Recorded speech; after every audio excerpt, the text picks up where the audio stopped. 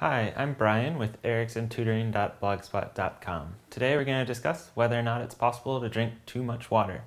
Uh, the simple answer is yes, it is possible to drink too much water. Uh, the condition is called hyponatremia, and what happens is the following. Basically, you intake so much water that you end up diluting the amount of salts in your body. Um, the hypo part of hyponatremia is referring to a low amount of salt.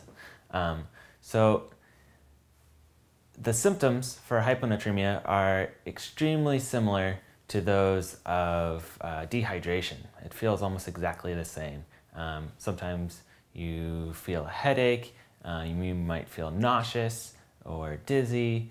Um, you generally feel pretty bad. You might start getting some sort of muscle cramps. Um, all these sorts of things that really don't feel very good. Um, but the main difference in what you're looking for is instead of realizing you haven't drank enough water, you know you've been drinking a whole lot of water. You've been drinking water all day.